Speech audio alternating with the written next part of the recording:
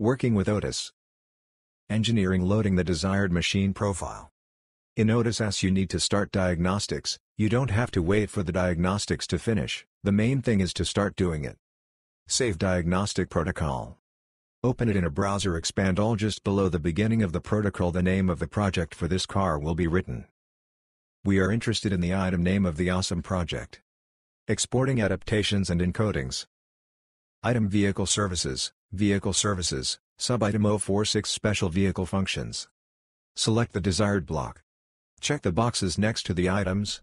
Adaptation, Encodings, click Read Data. Specify the path and click Save. Some blocks may ask for passwords, logins. After scanning is completed, our protocols are saved in the selected folder. Activating development mode. Sometimes, to activate certain adaptations, an out-of-range or function unavailable error may appear.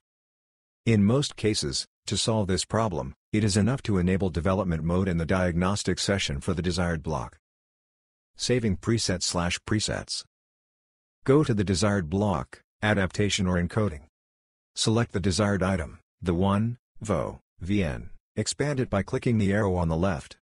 In the top right you need to click Preset. In the drop-down menu, select New, give it a name. There, in Preset, select Export and indicate where to save.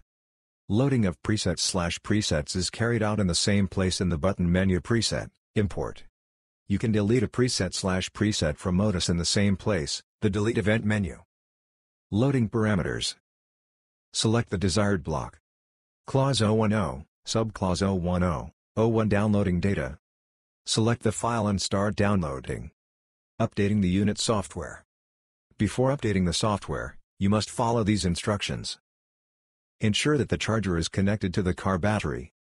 When updating the software, all electrical consumers that are not necessary, ventilation, heated seats, interior lighting, etc., must be turned off.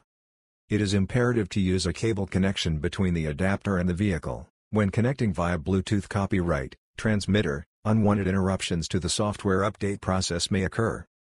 Be sure to disconnect all third-party connections to the car, cell phones, external drives, and remove the SIM card from the GU. The driver's door must be open during the software update. During the software update, turn on the hazard warning lights on the vehicle to ensure that the CAN bus on the vehicle side is always active.